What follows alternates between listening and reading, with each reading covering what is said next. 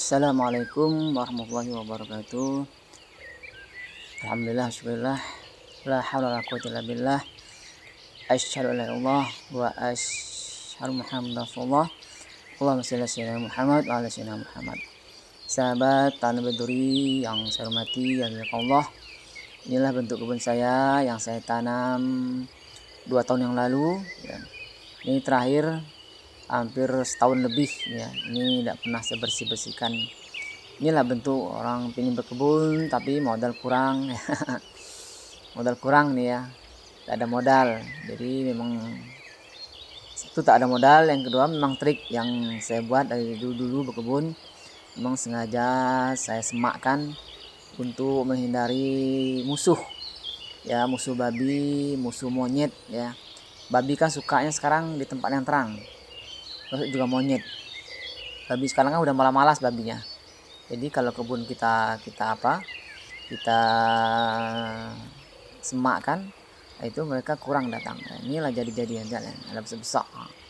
Itu contohnya lah besar nah, dalam semak itu ya. Memang sengaja ada saya pakai sengaja ada saya bersihkan untuk menghindari tadi tuh musuh babi dan monyet. Nah ini paling musuhnya ya ya, tikus. Wah ini lah jadi juga nih. Nah lah jadinya kan. Musuhnya paling tikus ya. Kalau tikus gampang untuk membasminya. Beli aja apa beli aja racun tikus atau jenis apa itu. Nah ini yang saya jadi nih ya. Nah, beli aja apa eh,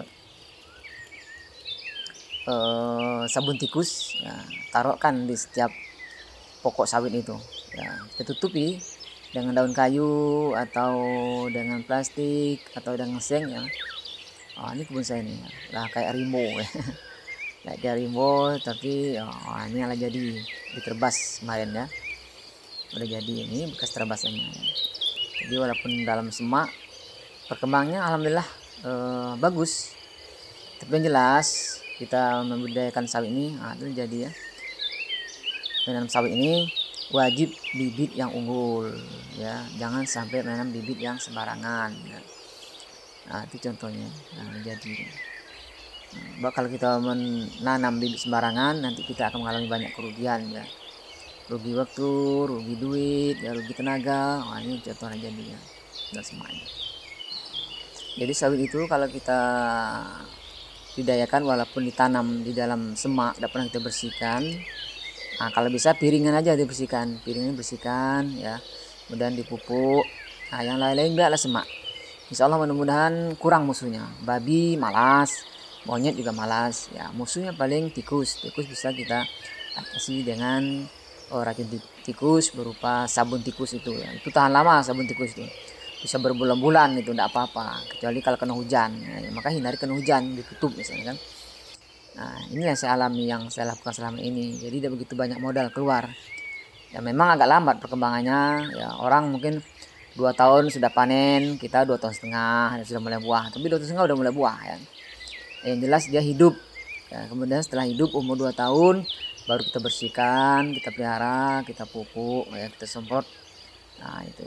Jadi inilah teknik yang insya Allah bisa berikan pada kita semua ya mudah-mudahan sedikit memberi inspirasi kepada kita.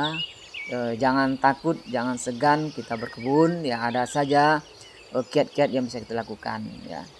Kemudian yang jelas ya jangan sampai menanam bibit abal-abal atau bibit biasa.